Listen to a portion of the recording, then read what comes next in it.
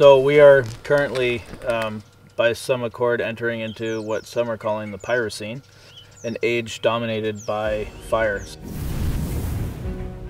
Mostly what we see right now in terms of climate change and the interaction between fires is that as with other types of weather phenomenon, they are becoming more in intense and more severe.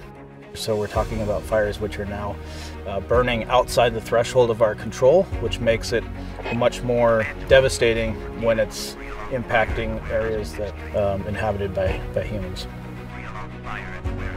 Most wildfires are being caught at a much later stage in the process, when the trees are already on fire, when it's already visible from 10 kilometers afar and smoke plumes are rising above the canopy. But then you already have a catastrophe in the making. So we believe there's a better way. We believe by using essentially an e-nose, uh, being able to smell the wildfire as it starts, that we can have a detection within minutes and act uh, within minutes. So during the course of their evolution, wild animals have developed an extreme sensitive sense of smell that is able to detect changes in air composition from kilometers away. And this is exactly what we're trying to replicate here at, at. Now that we have Silvanet, which can detect fires within minutes from ignition, the next logical step is also to work on the extinguishing side. So how about if we could detect and extinguish a wildfire within 10 minutes from ignition?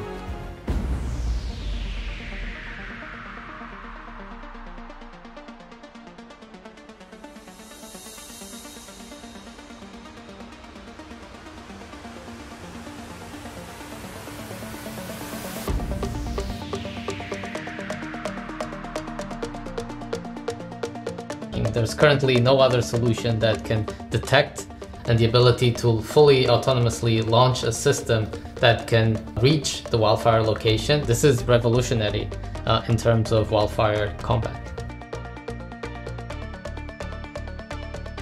At the moment we have a source of fire here. The sensors can already detect it, and through that we get a warning signal. The responders can already look at their mobile device, see the footage from the drone, and make a decision. Do we need more people? Where exactly is the fire location? This way we can receive critical information that otherwise be impossible. This drone launches and can get there before responders. It can give critical information. If we add now suppression capability, then we're talking about huge averted losses. And as we are dealing with much more destructive fires, fires which are outside of our span of control now, these require different methods, different tools. For the first time ever, we have this ability to really innovate